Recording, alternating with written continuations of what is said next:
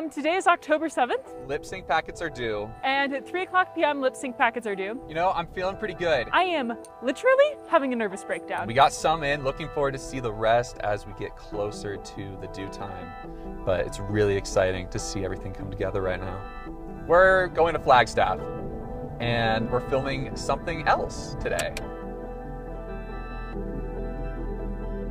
My name is Ali Davis, and I'm the Director of Special Events. My name is Kyle, and I'm the Assistant Director of Special Events. Behind the doors of auditions is a super top secret process that no one can hear about. We really like to look at the teams and different categories like creativity, originality, stage presence, the lip syncing component, and how they use their team members throughout their act. But yeah, I mean, each team can kind of take it in a unique direction, so we try to keep an open mind, and the teams have done really well so far. My expectations from being on the judging team last year could be a little higher. We had some really great acts last year, but I always like to keep a fair playing level, so we like to try to keep everything equal.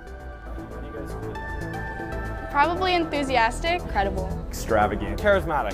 Determined. Energetic. Energetic. Fantastic. Dedicated. Beautiful. Passionate. Freaky. Freaky.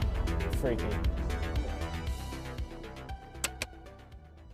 What makes my team stand out is that we are trying to bring diversity to GCU and we are just coming as one. We're just kind of average guys who decided, all right, let's put some hard work in and try and dance to our best ability and we've got some cool stunts, so. We have a, some pretty good looking guys uh, and some flips and uh, questionable dances, but yeah. We have about 40 people on our team, so that is definitely a huge factor in what makes us stand out, but also our marketing stunt that we did for everybody. We made everybody think that we were gonna do a whole country set, but we're really not country at all. There are definitely some sacrifices. A lot of us um, are nursing majors or seniors, so our homework load's quite heavy, so our grades have been sacrificed a little bit.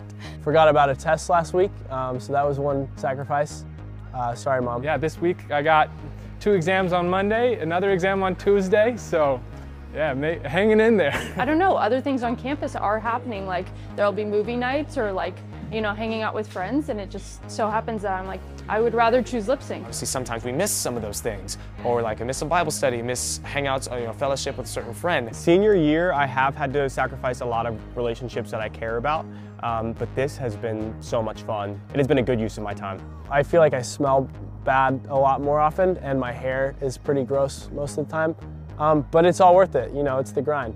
All the hard work, everything was completely worth once you're up on that stage in front of 7,000 people and you just hear, ah. It's such a unique experience to be part of a lip sync team and get in front of 8,000 of your peers, which is not something that every college does, which I think is super cool. We want to show GCU and the whole, hopefully the whole world, what international people can do out on the stage.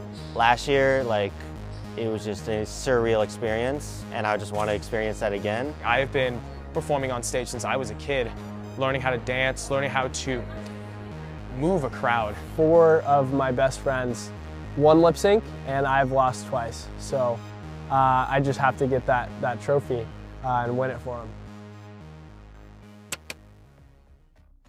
Lip sync's tomorrow and I literally could not be more prepared. My anxiety is like a 6.5 on the bell curve scale.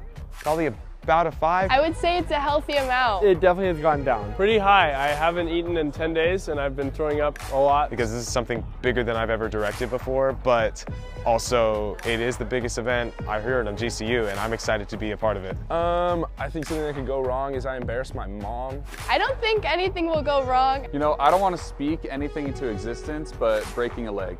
I mean, there's a bit of a drop right there, I guess. That's a great question.